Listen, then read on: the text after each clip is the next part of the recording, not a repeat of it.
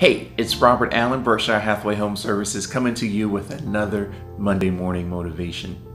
I recently read a quote and it had me thinking. And it basically says, Once a gift is given, it is now the possession of the recipient.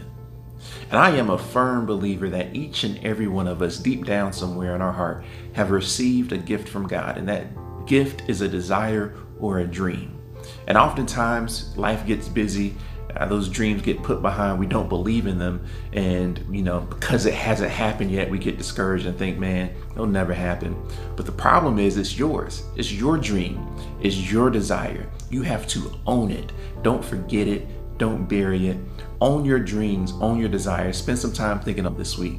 Stay motivated